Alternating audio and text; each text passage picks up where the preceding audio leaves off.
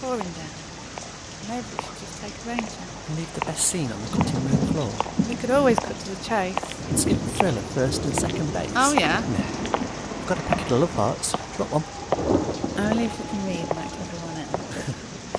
You're far out, Sam. This one says... Kiss me. Me, far out? Well, you're a dreamer. Okay. well, you're... You're... Hmm?